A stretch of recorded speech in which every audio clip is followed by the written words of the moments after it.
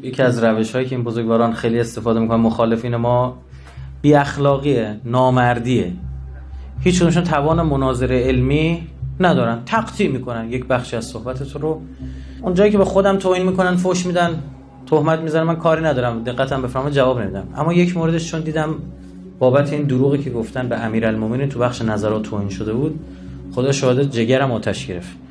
و مثلا به زور خودم رو کنترل کردم. خانم تحمین میلانی کارگردان بازیگر حالا هرچی می‌خواد اسمشو بذارید.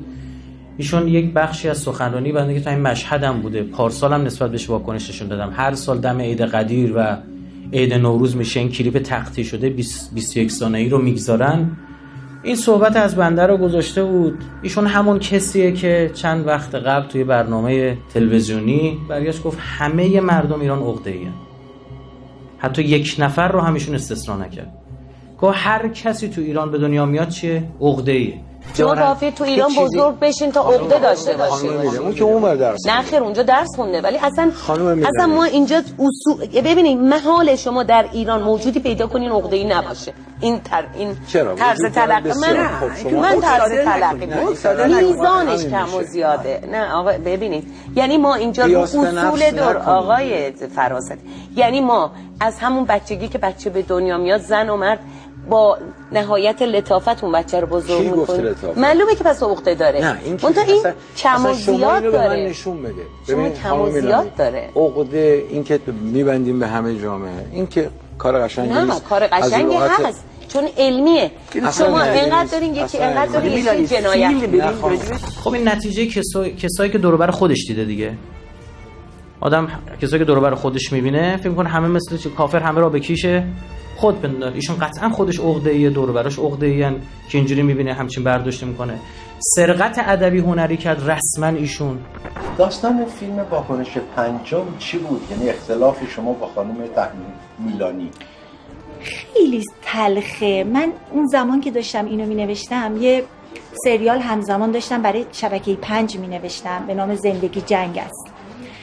ناظری کیفی این فیلمنامه واکنش پنجم خونده بود. من ناظری کیفی شبکه پنج.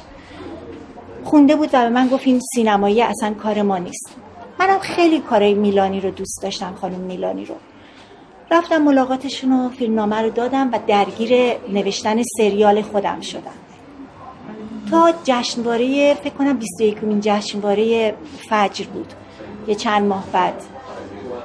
شنیدم که همین آقای ناظر کیفی که فیلمنامه رو خونده بود به من گفتش که فیلمنامه تو میلانی ساخته. اصلا نمی‌تونستم باور کنم. و خوشبختانه تنها کاری که کردم این بود بعد از اینکه فیلمنامه رو به ایشون دادم فکر کنم دو سه روز بعدش بود رفتم خانه سینما و فیلمنامه رو ثبت کردم. سه سال طول کشید تا من بتونم اثبات بکنم و خط به خط فیلمنامه رو مقایسه کردن و خب من به حقوق مادیم در واقع رسیدم. ولی خب من خیلی امیدوار بودم که خانم میلانی فقط وقتی منو می‌بینه به من بگه مهرنوش گشتم پیدات نکردم. نه اینکه حتی خود منم این کار بکنه از چند تا نقاش و هنرمند خارجی که یکیشون اسرائیلی بود. ازش نقاشی ها رو برداشته بودن عینا کپی زده بودن کار به که جامعه هنری واکنش نشون داد که از جنس خود همینان. واکنش نشون داد پررو پررو میگم از اونها شکایت می‌کنم.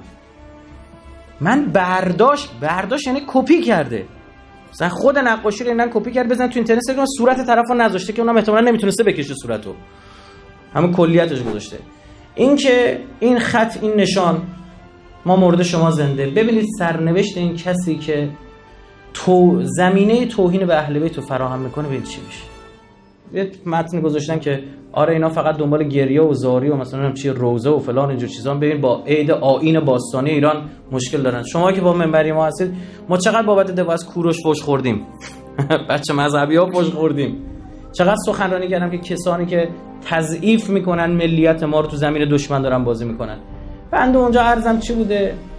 میگم آقا عید نوروز خیلی خوبه به خاطر چی؟ به خاطر صله ارهامش سنت درستیه. به خاطر چی؟ به خاطر اینه که ما یاد می‌گیریم کدورت ها رو بذاریم کنار. یاد می‌گیریم ببخشیم. یاد می‌گیریم کهنگی رو بریزیم دور. یاد می‌گیرن مردم دور هم جمع بشن. حس خوب بینشون به وجود بیاد. نفرت ها رو کنار بذارن. اینا همش خوبه مورد تایید خدا و پیغمبرش هم هست. حالا خواه نوروز دینی باشد یا نباشد؟ دقت هم بکنید. علمای ما با نوروز در نیفتادن گفتن خیلی خوبه. عید نوروز من میگم از این جهت درسته خیلی خوبه. اما حرف من چیه؟ میگم خب الان خب اسفند شد فروردین. خب که چی؟ خب فروردین میشه اردیبهشت اردیبهشت هم. چه اتفاقی میفته؟ ما اگه بتونیم این حس نوروزی رو حفظ بکنیم درسته. یعنی همیشه کدرت رو بذاریم کنار. اردیبهشت هم شد خرداد نه هر روز روز دیگه شد برای تو. روز نو باشه. نوروز روز نو باشه. آدم باشیم مثل آدم زندگی کنیم. این حرف ماست. اصلا ولایت اهل بیت اومده همین حرفو بزنه. نه یروزنا کل یوم. هر روز ما نوروزی مال اهل بیته. این حرف کجاش غلطه؟ یک تیکشو همین تیکشو برداری. بگذاری تختی بکنی بعد به واسطه یه ده حمله کنن به چی؟ به عید قدیر رو به امیرالمومنین توهین کنن که من اصلا آتیش گرفتم خدا شده از ظهر که دیدم. قطعا این خط این نشون انشالله که خدا ببخشنشون اما تجربه اثبات کرده هر که با اهل بیت در افتاد.